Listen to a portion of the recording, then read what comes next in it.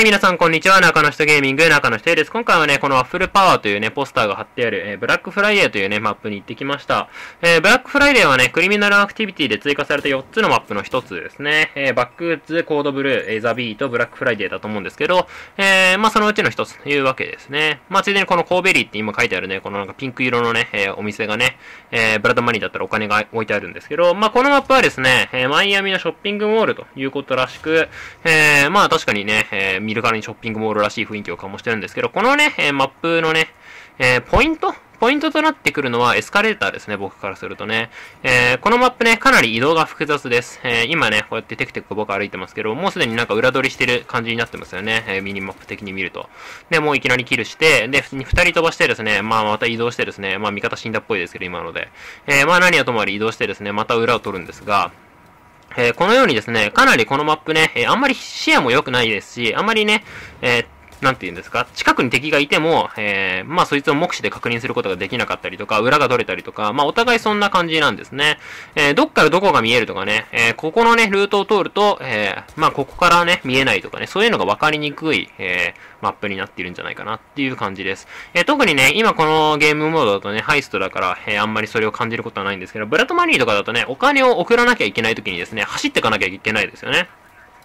で、走っていくときに、えー、どういうルートをね、どう通れば安全なのかとかね、どういうルートを、ここのルートを通るときは、どこのね、えー、敵にぶち殺されやすいのかっていうのがね、なかなか確認しにくいんじゃないかなっていう感じです。でもね、えー、まあ、ただキルを取るだけだったらですね、まあ、このうまくですね、このエスカレーターを使った方がいいですね。エスカレーターはまあまあね、遮蔽物として使えますし、えー、他にもね、エスカレーターを使えばね、比較的上下の移動もね、えここの階段、要するに階段と一緒ですから、えー、まあ、うまくですね、この上下があるので、1階と2階があるので、うまいこと1階と2階をね、えー、使い分けてですね、えー、まあ、きっと2階から1階の敵をボコボコにすることが多いかと思うんですが、えー、まあ、そういう風にね、うまいことですね、えこのエスカレーターを使って戦っていくというわけかなっていう感じですね。で、使える武器は基本的に近中向けの武器がいいんじゃないかなっていう感じですね。え遠距離の武器が使いたくてもですね、えー、まあ、確かにここのね、えー、今、今のマップ、今の状態からだと見えないですけど、まあ、ちょっと見えるかな？あ、ここですね。今、ちらって見たあっち側のちょっと開けてる場所ありますよね。こっちの今、僕の視点から見るとですね、今左ですね。うん。まあ、そんな場所でね、ちょっと、ちょっとだけ開けてる場所があるんですけど、そこの開けてる場所のね、周りで戦ってもですね、そんなに遠距離ではないですし、正直言ってね。えー、まあ、どうしてもね、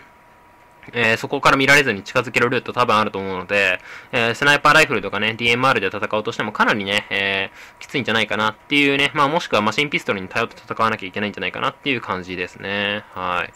まあなかなかね、ごちゃごちゃしたマップになっているという感じですね。まあこうやってね、ポーンって裏からね、えー、上から飛び降りて裏取りしたりとかですね、いろいろね、えー、まあ複雑なマップ設計になっているから、まあなんか戦場をコントロールするっていうのはなかなか難しいかなっていう感じですね。どちらかというとね、えー、まあいろんな場所からいろんな場所見えるので、まあ一人でどうにかなるんですかね。まあ、そんなにね、一人でどうにかするできる場所がね、まだね、えー、僕もわからないですから、なんとも言えないんですけど、まあ、どちらかというとね、えー、まあ、オペレーションロッカーのコンクエストとかに近い雰囲気をね、えー、これは醸してますよね。まあ、オペレーションロッカーチームデスマッチぐらいだったら一人でなんとかなりますが、まあ、これ広いので、あんまりなんとかならないんじゃないかなっていう感じですね。うん。まあ、そうですね。えー、マップもね、これ縦長ですよね。なんか斜めに長いですけど、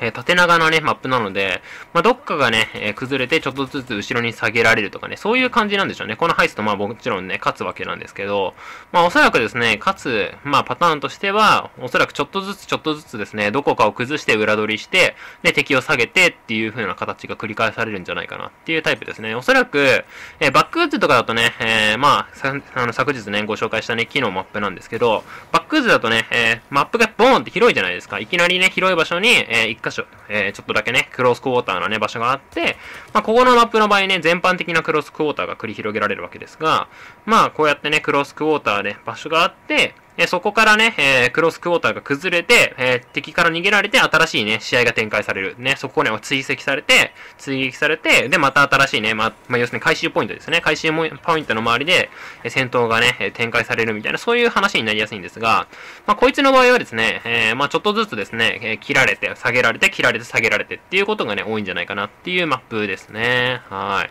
というわけでね、えー、ザ、えー、ザじゃないね、 Black Friday っていうね、このマップね、まあ、こんな感じです。ぜひね、皆皆さんこのエスカレーターね、えー、主にですね、えー、気をつけながらね、えエスカレーターをうまく使って、まあこの1階と2階をうまく使って、えー、ぜひね、このブラックフライデーというマップをね、楽しんでいただけたらというふうに思います。というわけでね、今回の動画はいかがだったでしょうか？この動画ね、気に入っていただけたら、いいねとチャンネル登録ぜひよろしくお願いします。では次の動画でお会いしましょう。以上、中野人ゲーミング、中野人 A でした。